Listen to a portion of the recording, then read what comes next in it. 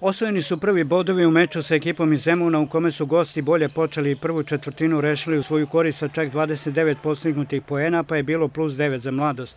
Druga četvrtina je bila druga priča, stisli su odbranu Starobanovčani, proradila je realizacija i taj period igre rešili su u svoju korist sa čak 20 poena razlike.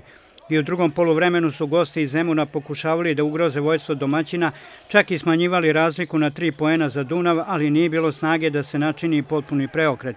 Na kraju Dunav je zasluženo pobedio sa 88-80 i osvojio prve bodove. Jako bitna pobeda prvo kolo, vrlo važna pobeda na otvaranju. E, znači, kao što je Nikola rekao, loše smo ušli u utakmicu, e, jednostavno ovaj, nismo imali rešenje za, za, njihovu, za njihovu igru u tranziciji, ovaj, Ovo, jednostavno, momci su odigrali fenomenalno, momci iz mladosti. Mi smo se u, u drugoj četvrtini malo konsolidovali, e, zaglizdi u odbrani onako kako mi to znamo, imamo i do većeg dela četvrtine mladost dala samo četiri poena, čini mi se.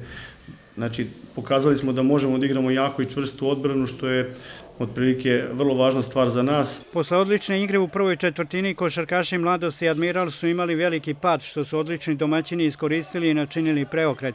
Jako su pokušavali da se vrate u meč i u nekoliko navrata ugrožavali vođstvo Dunava, Zemunci nisu imali snage da izbegnu poraz.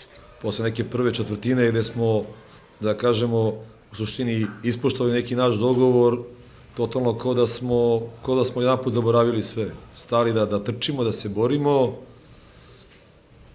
Onako, mi smo, mi smo neka, da kažemo, nov tim, koji će polako da sazreva kroz, kroz, kroz, ono, kroz utakmice, kroz treninge i sve, ono, ovo je prva neka oficijalna utakmica. Imali smo dosta prijateljske, ali ovo je oficijalno, to je nešto drugo. U narednom kolu Dunav će igrati kao gost protiv Vršca, a Mladost Admiral u Novom Sadu sa Vojvodinom.